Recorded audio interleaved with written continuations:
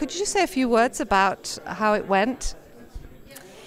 Certainly. I, so, I'm not a disaster risk specialist. I'm a scientist in other fields that have come to understand that much of my work aims to reduce risks of various types. So, it's very exciting for me to come together with risk professionals. Um, to take a look at the future, to challenge ourselves about the way we're working in the present, and to find opportunities together uh, where we can move um, often before industry or academia can move by itself.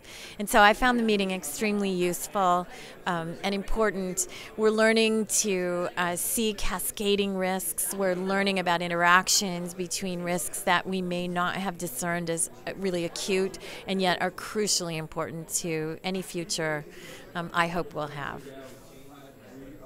Uh, thank you. Did you um, achieve? Did you did you feel that meeting achieved what you'd hoped? Certainly, for me, the networks that um, are fostered in a gathering like this are crucially important. I was just having a conversation with colleagues about an outbreak of an insect pest in Africa that is moving ahead um, very quickly, and I believe there's more we could be doing and should be doing. And I believe I will exit this meeting with um, more people helping on that particular challenge.